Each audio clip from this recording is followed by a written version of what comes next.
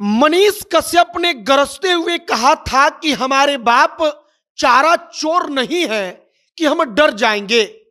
उनका सीधे तौर पर निशाना तेजस्वी यादव पर था। मनीष कश्यप कह रहे थे कि हमारे बाप फौजी हैं और हम सीना तान कर खड़े हैं क्योंकि फौजी का बेटा डरता नहीं, चारा चोर का बेटा डरता है और हमारे बाप कोई चारा चोर करने वाले चारा चोरी करने वाले नहीं है। अब उस मामले में बड़ी कार्रवाई हुई है। पाँच पुलिस वालों को तो तत्काल प्रभाव से पटना पुलिस ने सस्पेंड कर दिया है। वो पुलिस वाले जिनके ऊपर मनीष कश्यप की ज़िम्मेदारी थी, जो उस एस्कॉट में शामिल थे, जिस एस्कॉट के ऊपर यह ज़िम्मेदारी थी कि वो मनीष कश्यप को बेऊर जेल से लेकर पटना में अदालत के परिसर में लेकर आएँगे और अदालत में मनीष कश्यप को उपस्थित करेंगे। आगे आपको हम पूरी कहानी बताएँगे कि पटना एसएसपी ने क्या कुछ कहा है और आगे अब क्या कुछ हो रहा है। सब पर बातचीत करेंगे। बाकी नमस्कार, मेरा नाम है मोहित कुमार सिंह और आप जनता जंक्शन देख रहे हैं।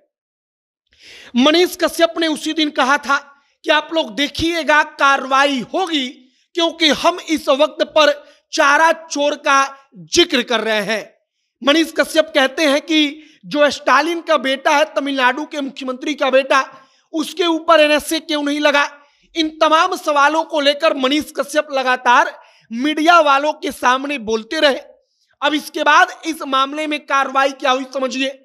कार्रवाई के बारे में बताया जा रहा है कि पुलिस मुख्यालय की तरफ़ से निर्देश आया उसके बाद पटना एसएसपी ने जो एस्कॉट शामिल थी, उस एस्कॉट में जो पुलिसकर्मी थे, उनमें से पाँच पुलिसकर्मियों को सस्पेंड कर दिया गया, जिनके ऊपर मनीष कश्यप की ज़िम्मेदारी थी। अब कहा गया कि पटना पुलिस वहाँ पर लेकर आई और जो पटना पुलिस का एस्कॉट होता है, वही मनीष कश्यप के साथ सुरक्षा में था और पूरा का पूरा जो, जहाँ पर पूरा का पूरा घटना हुआ वह भी पटना ही है। तो इस लिहाज से पटना पुलिस को कार्रवाई के लिए कहा गया और इसके बाद पटना पुलिस ने कार्रवाई किया। अब मनीष कश्यप ने बोला क्या था? तो वो सीधे तौर पर तेजस्वी यादव को चैलेंज दे रहे थे या उनको चुनौती दे रहे थे। वह सीधे तौर पर कह रहे थे कि चारा चोर के हम बेटा नहीं है कि हम डर जाएँगे। इसके बाद वो तेजस्वी से सवाल पूछने लगते हैं कि तुम तो यादव हो तो यादव ही कोई अगर उसके साथ गलत हुआ तो यादव के नाम पर ही कम से कम तेजस्वी यादव यादव के घर गए होते। मनीष कश्यप बकायदा नाम गिनवाते हैं। कहते हैं कि यादव दरोगा जो है, वो शहीद हो गया। वो यादव ठेकेदार का ज़िक्र करते हैं। वो नीलेश मुखिया का ज़िक्र करते हैं, जो जाति से यादव थे। और इन तमाम लोगों का ज़िक्र करते हुए कहते हैं कि ये तमाम लोग खत्म कर दिए गए। लेकिन यादवों का नेता अगर तेजस्वी है तो कम से कम यादव के नाम पर भी वहाँ पर जाते।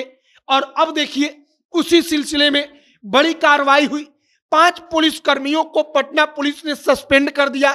बताया जा रहा है कि तत्काल प्रभाव से जो एस्कॉट शामिल था मनीष कश्यप को लाने और ले जाने के लिए, उस एस्कॉट में शामिल पुलिस कर्मियों से सबसे स्पष्टीकरण मांगा गया है कि जुडिशियल कस्टडी में मनीष कश्यप ने जो बोला मनीष कश्यप जो कर रहा था, उस वक्त पर आप लोग कहाँ थे? आप लोग इस बात का जवाब दीजिए कि वहाँ पर क्या कुछ हुआ। और अब आगे देखिए कि पटना पुलिस के द्वारा एस्कॉट में जो जवान शामिल थे, वो क्या कुछ जवाब देते हैं? क्या कुछ अपना स्पष्टीकरण देते हैं? लेकिन फ़िलहाल इसी सिलसिले में एक कार्रवाई हुई है।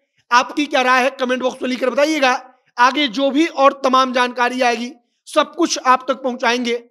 तमाम खबरों के लिए हमारे साथ बने रहिएगा। कैमरे से विशाल खड़े हैं और मैं मोहित कुमार सिंह। बहुत बहुत धन्यवाद।